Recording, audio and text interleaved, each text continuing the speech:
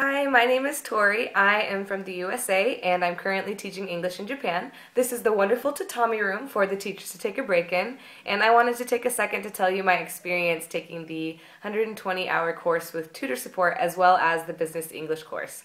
Um, I came here with a degree in English and education, and I wanted to take these courses to further my education in teaching English to students of other languages. Uh, both courses are extremely helpful, and while some of the theories that I had learned already in university, I also had a chance to learn new theories um, in both of these courses. Um, I was able to actually see new methods and techniques that you could use to create a really effective lesson plan in the classroom, and I really, really enjoyed that about these courses. Um, the 120 hour course specifically, I really liked seeing the specific grammar pieces that the students struggle with most often. Um, and I really liked having the tutor to bounce my ideas and questions off of.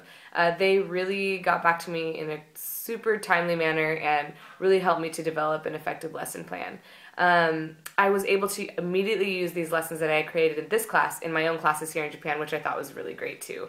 Um, the business English class, I felt that the course development portion of that class was super, super helpful. Um, the process of course design, uh, was something that was new to me, and especially since um, you're dealing with a lot of people with such a wide variety of English backgrounds, I found this part of the business English course extremely helpful in evaluating whether or not the units that I created were um, helpful for the students. So overall, um, I had a really great experience taking both of these courses. Tutor support was good, and um, so were just the feedback um, comments on everything that I was doing. So I hope that you also have a great time taking these courses. I would recommend anyone with some time to take these. So have fun.